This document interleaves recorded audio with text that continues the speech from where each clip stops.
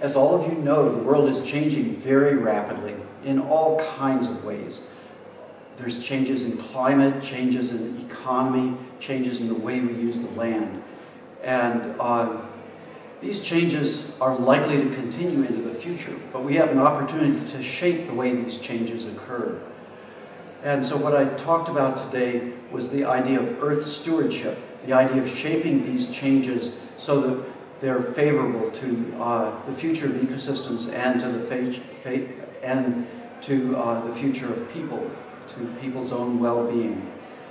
And I think that ecologists have a new role that they can play in uh, developing a new science of people as part of nature rather than ecosystems as being separate from nature.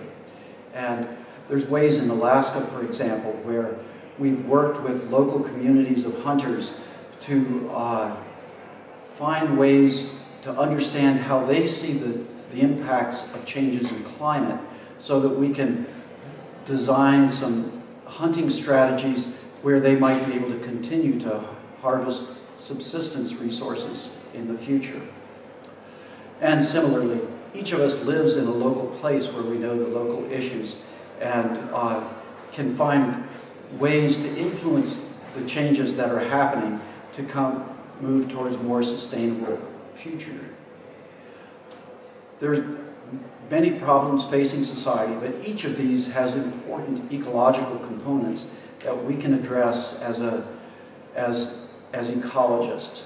There's other issues where it's very important that we work together with people from other disciplines and that we work together with managers who are uh, dealing with these problems uh, in practical ways. Oftentimes they have very good ideas about ways in which things work and things that could be done.